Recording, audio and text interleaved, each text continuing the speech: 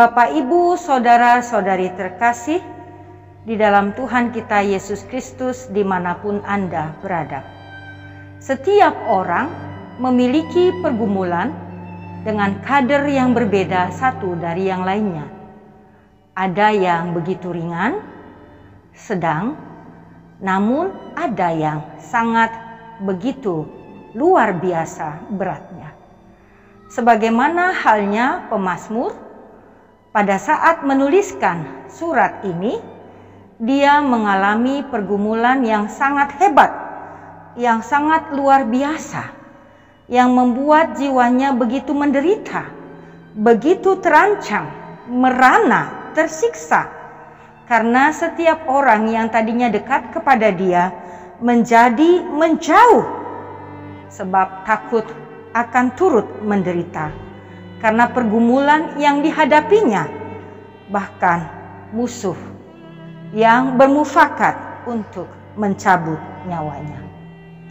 Namun, di tengah penderitaan yang begitu dalam, ia tahu siapakah yang akan mampu memberikan jalan keluar, yaitu hanya Tuhan yang memiliki kasih karunia yang senantiasa menyertai hidupnya sehingga kendati pun penderitaan begitu berat, ia yakin akan pertolongan Tuhan yang begitu dahsyat.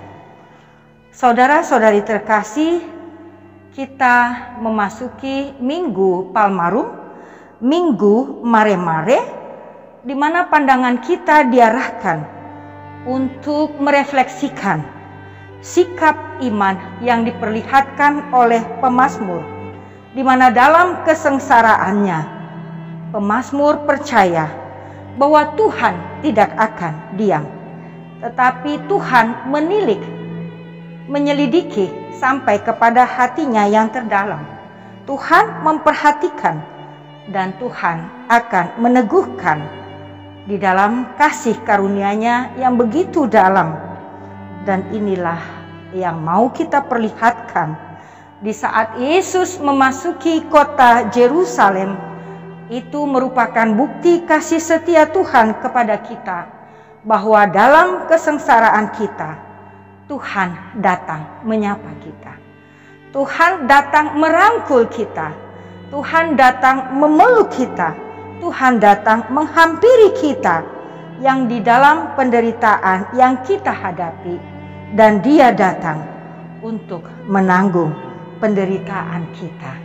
Itulah yang membuat kita bersuka cita di Minggu Palmarum, Minggu Mare-Mare.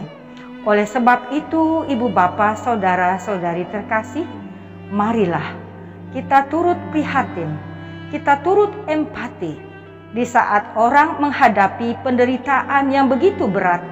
Mari kita rangkul dia. Mari kita peluk dia. Mari kita doakan dia sebagaimana Tuhan menghampiri kita di dalam penderitaannya, ia memberikan kasihnya yang luar biasa melalui Yesus Kristus yang mati di kayu salib. Sehingga di minggu mare-mare ini kita patut bersuka cita memuliakan Tuhan yang penuh kasih karunia. Mazmur 31 ayat 8 sampai 16 Tuhan memberkati. Amin.